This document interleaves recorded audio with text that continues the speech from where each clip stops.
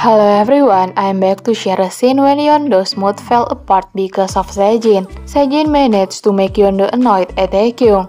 In this scene, after Sejin said that she hopes Yondo won't be dumped by Taekyung just like other women, Yondo didn't want to eat the food that Taekyung broke, even though it was Yondo who asked Taekyung to bring the food for her.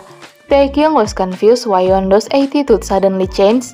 He tried to cook for Yondo, but because the food was burned, Yondo commented a lot about Taekyung's cooking, and Taekyung became annoyed with Yondo.